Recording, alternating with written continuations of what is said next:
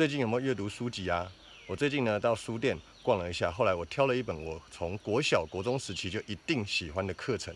什么课程呢？就是自然课跟生物课喽。那这本书让我看完以后很有感觉。为什么很有感觉？各位，我从小就爱自然啊，所以一定要喜欢这本书啦。咚咚，生物课好好玩。这是由李曼韵老师他所著的。那这位老师他在里面写的非常多。我从小就想知道，而且有一些是我从小就已经知道的有趣的生物课程跟知识。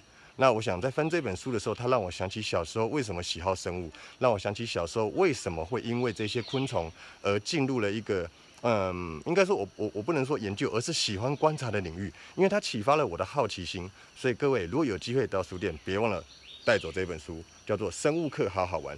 如果你的孩子或者是你，对于一个任何自然相关的、生物相关的事情有兴趣的话，这本书绝对适合你。没事拿起来翻一翻，有事就用力看，看到爆。别忘了，生物课好好玩，李曼韵老师写的哦。